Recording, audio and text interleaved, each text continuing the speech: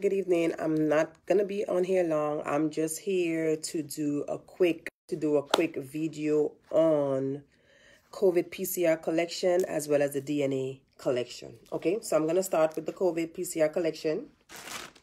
These are supplies, the vials, the swabs, and the bags. I have a bu oh the bags, right? Okay. So when the client comes in, you you know you greet them, good day, welcome, how may I help you? They're here for a COVID test.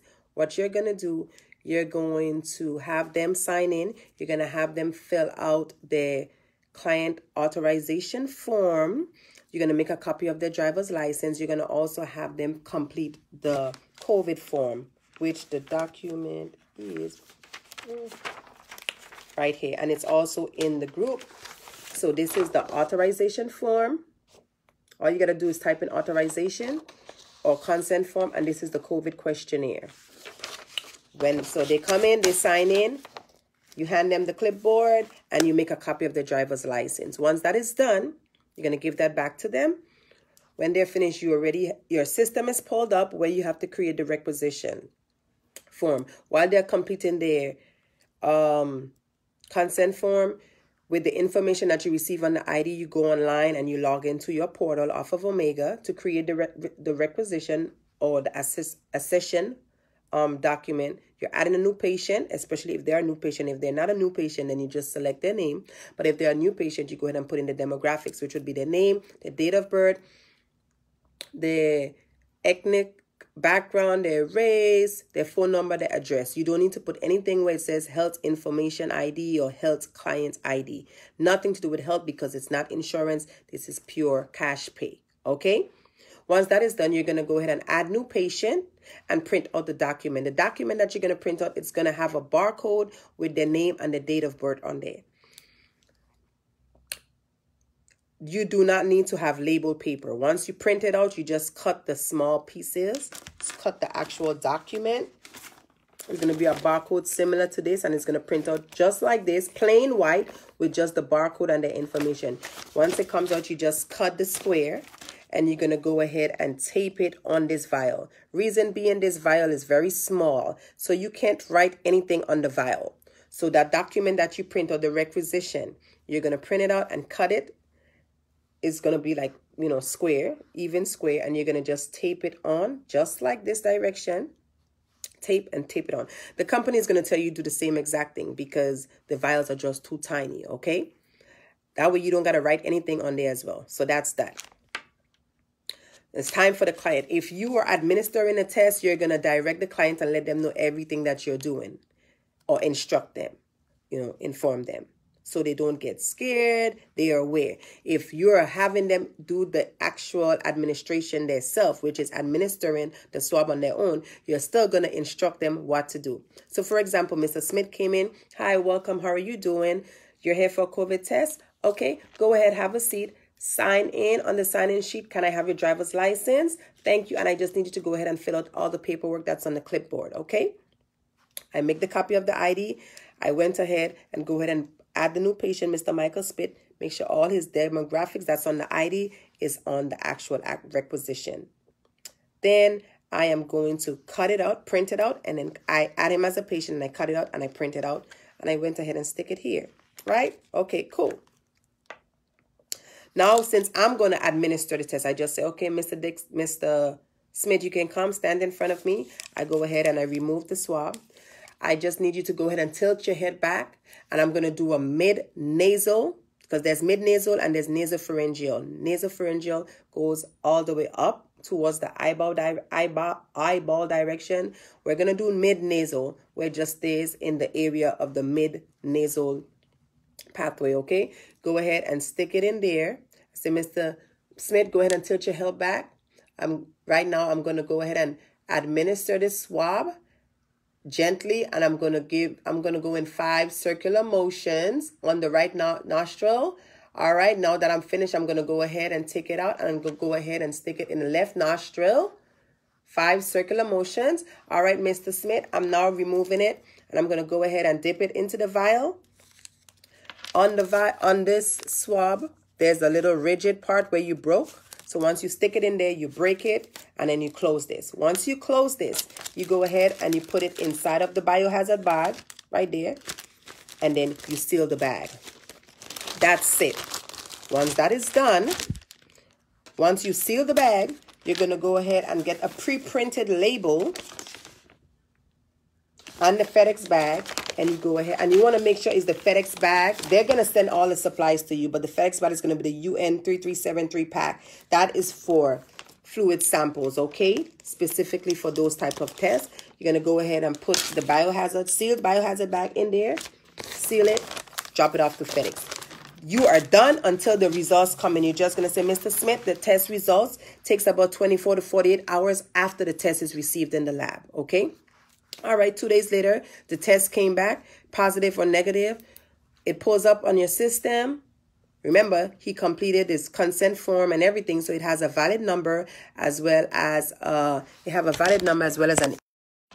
All you're gonna do is um, select the option to print PDF, and you can download the PDF and you email it to him, and you're done. If it's positive or negative, you're gonna just send him that information. If he's positive, he's reach out to his PCP. And if he's negative, he's fine. He has the documentation for himself. That is a simple COVID test PCR collection. If it's the mouth swab, it will be the same thing. Okay? All right. For DNA, let me go ahead and put this on the side. For DNA, we have, like I said, we have products that you can sell. So clients can come in and actually purchase the products and they will do the collection and you will ship it off. And then the lab will charge you as the lab, as the collection site for the actual test. So if you charge your client 375 but then the lab but then the lab charges you 150 to test, 150 from the 375, the balance be, be it's yours, okay? So that's what you would do. When it comes to completing the paperwork for DNA, it's as simple. They will contact you and let you know that a DNA test is being issued. You're going to have documentation, which would be the case number, the fax information with everyone that's coming in,